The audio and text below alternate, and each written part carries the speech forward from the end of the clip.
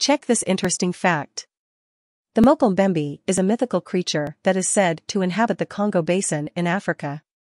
It is described as a large, elephant-like creature with a long neck and a long, snake-like tail. Some believe that the Mokele is a real animal.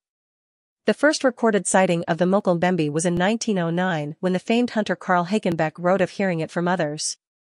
They had heard about the creature from natives that it was half elephant, half dragon in his autobiography Beasts and Men. In 2016, a travel documentary crew visited many villages in the area and heard one of two stories either that it was still there or that it had died a decade ago. According to legend, the Mokele would have lived for around 100 years, and it is interesting to see a mythical creature die which doesn't happen with most others. Please like and subscribe for more interesting facts.